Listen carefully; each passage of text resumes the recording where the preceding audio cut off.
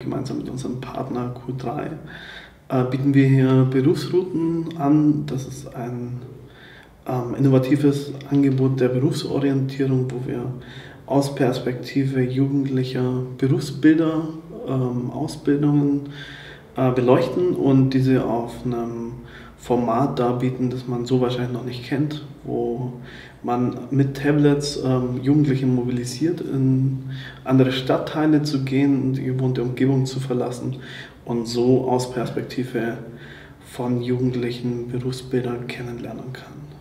Die Berufsrouten Leipzig sind ein Projekt zur Berufsorientierung hier in Leipzig. Das Besondere ist, dass wir weggehen von allen Projektansätzen, die es in dem Bereich in letzter Zeit erfolgreich auch gab und wir versucht haben, einen neuen Ansatz zu verfolgen. Und das heißt, wir sagen, ortsbasiertes Lernen vor Ort mit Tablets wollen wir den Jugendlichen eine Berufsorientierung bieten. Das Schöne an dem Produkt Berufsrouten ist, dass man eben nicht ähm, jemanden braucht, der einem da was vermittelt oder ermöglicht. Ähm, jeder kann einsteigen. Wir haben die Stadt, die Ausbildungsberufe in Kooperation mit den vielen Partnern, den Betrieben ähm, mit QR-Codes zugepflastert. Das heißt, ich komme da vorbei, ich zücke mein Smartphone, ich kann direkt in das Spiel einsteigen.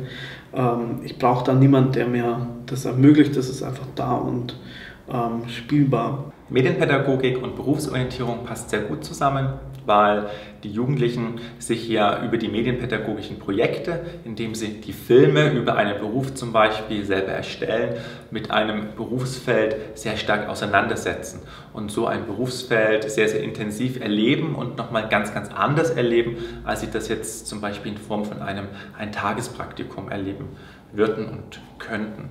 Also in den Medienwerkstätten geht es darum, dass ähm, die Jugendlichen am ersten Tag eine Einführung bekommen. Die Klassen werden eingeteilt in vier Gruppen. Jede Gruppe schaut sich einen Ausbildungsberuf ähm, genauer an.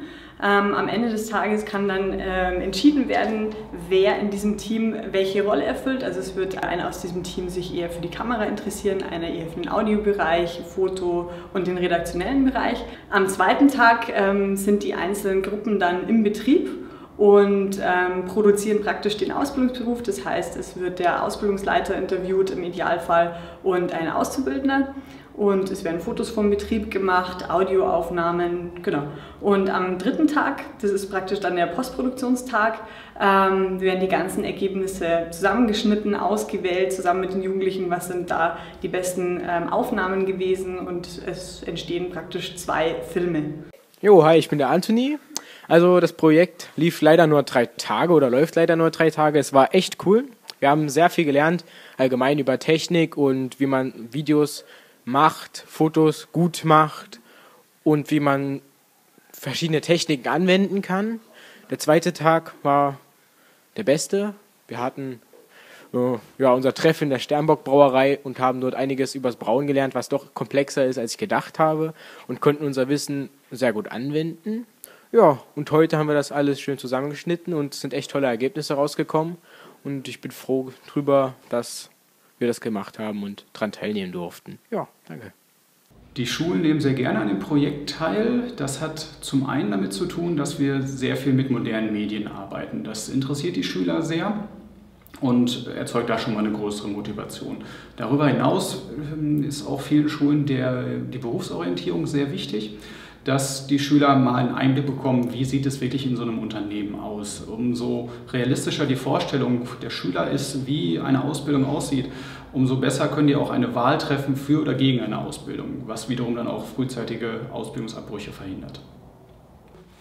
Ich finde, im Verlauf des Projekts ist nochmal deutlich geworden, wohin es in der Medienpädagogik gehen kann. Das ist ähm, Medienpädagogik mobil, dass viele Jugendlichen eben eh schon die Geräte haben, aber oft nicht wissen, was sie eigentlich alles damit machen können. Also ich glaube, darum geht es auch nochmal ähm, zu sagen, ja, okay, du hast jetzt dieses Smartphone, dieses iPad, aber du hast ganz viele Funktionen einfach auch noch nicht ausprobiert und ähm, das in der Hinsicht auch noch gar nicht genutzt und den Jugendlichen da einfach auch nochmal einen ganz anderen Zugang ähm, zu ermöglichen.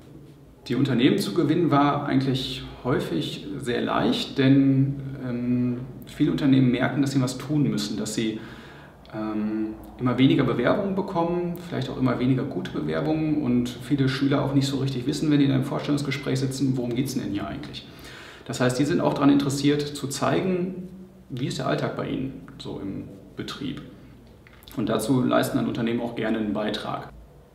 So ergibt sich für die Unternehmen da auch die Möglichkeit, nochmal anders auf sich aufmerksam zu machen, anders an zukünftige Auszubildende zu kommen. Wenn jetzt die Jugendlichen bei den Berufsrouten zum Beispiel mitgemacht haben, sich schon mal zu dem Betrieb im Rahmen des Spiels getraut haben und wissen, dass der Betrieb ausbildet und es ganz spannend finden, wie der Betrieb so ausschaut, feststellen, da kommt man ja ganz einfach hin und so ist es für die Unternehmen auch nochmal die Möglichkeit, äh, an interessierte Jugendliche für einen Ausbildungsplatz zu kommen. Das Überraschendste an dem Konzept Berufsrouten Leipzig ist, wie leicht sich die Jugendlichen mit der Technik tun, dass es überhaupt kein Problem mehr ist für die Jugendlichen mit dem Smartphone, mit dem Tablet, sich in der Stadt zu orientieren. Also was hinter berufsrouten-leipzig.de steckt, ist ein, eine Web-App, also eine Karte, auf der man landet. Ähm, die Karte zeigt einem die eigene Position an. Das heißt, das nutze ich hauptsächlich mit Smartphone oder Tablet, wobei das Ganze schon für ein Tablet, also für ein bisschen größeren Screen optimiert ist. Und über diese Karte kann ich dann zu, meinem, zu meiner ersten Station navigieren. Wenn ich an diese Station komme, dann löst diese aus. Das heißt, ich ähm, werde mit einer Frage zu dieser Station konfrontiert. Und da muss ich eben richtig beantworten und so ähm, führt mich quasi diese Karte durch, durch das Spiel und ich muss mich halt im realen Raum bewegen, weil sonst werden diese Fragen nicht erscheinen. Also nur wenn ich aktiv bin und unterwegs bin, ähm, kann ich zum Ziel gelangen. Das Spielkonzept von Berufsrouten Leipzig funktioniert so, dass ähm, gemeinsam als Gruppe gestartet wird. Es gibt im Prinzip zwei Faktoren. Das eine ist, man muss in einer bestimmten Zeit ähm, die Aufgaben erledigen. Das heißt, man muss ähm, je nach Route sechs oder acht oder weniger Stationen, Stationen sind in dem Fall Ausbildungsbetriebe, abarbeiten. Man muss jeweils sich mit dem Ausbildungsberuf auseinandersetzen, muss dazu Fragen richtig beantworten. Wenn man das nicht tut, muss man wir nennen es Bonusrunden, ähm, laufen. Wer da die meisten Punkte sich erspielt haben, die sich eben aus Zeit und aus den richtigen Fragen ergeben, der ähm, tritt einen einen Highscore, den wir Leipzig weit etabliert haben und gewinnt natürlich die Runde.